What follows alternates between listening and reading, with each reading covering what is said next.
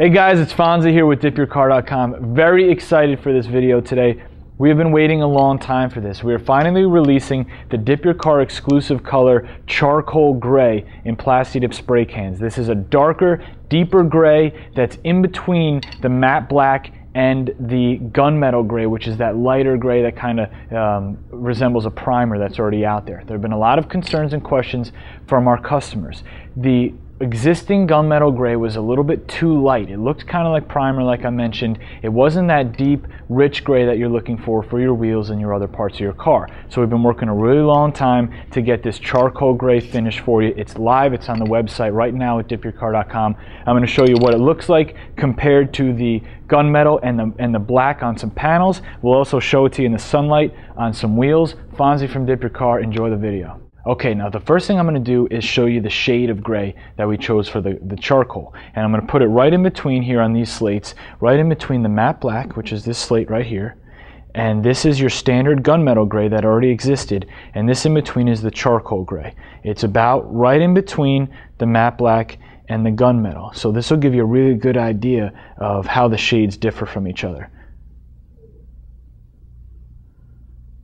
Okay guys, and now just for clarity, this here is the gunmetal gray and this is the charcoal gray. Now let me make this very clear as well. The gunmetal gray is not going anywhere. The gunmetal gray will still exist. It'll still be a product available at dipyourcar.com. We're adding the charcoal gray as another option.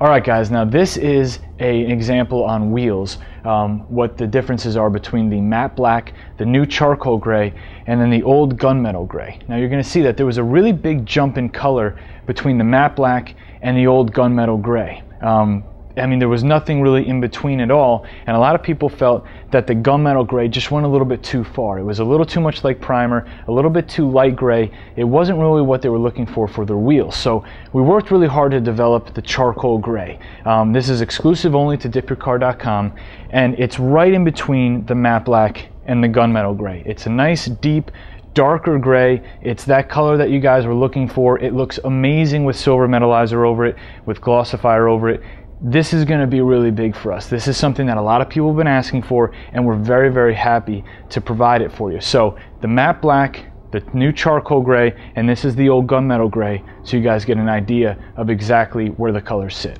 Alright guys, I was really happy to finally introduce to you the charcoal gray uh, from Dip Your Car. Now, we showed it to you on some panels and we showed it to you on some wheels and I understand there's going to be a lot of comments in this video saying what does it look like with silver metalizer, or what does it look like with pearlizer over it. We're going to definitely launch one of those videos to show you all the variations of the charcoal used as a base color for other things. But we wanted to launch this, we wanted to show you what it looked like as a standard color because there's been so many people that have been waiting for it. Um, Yes, it's exclusive to dipyourcar.com only, but it's the same price as regular other Plasti-Dip products. Same price as the black, same price as the white or the red. Um, so you guys can grab it right now. It's in the wheel kits as well as individual cans. If you have any questions, customer service at dipyourcar.com. Really happy to finally get this video to you. It's Fonzie. I'll see you on the next one.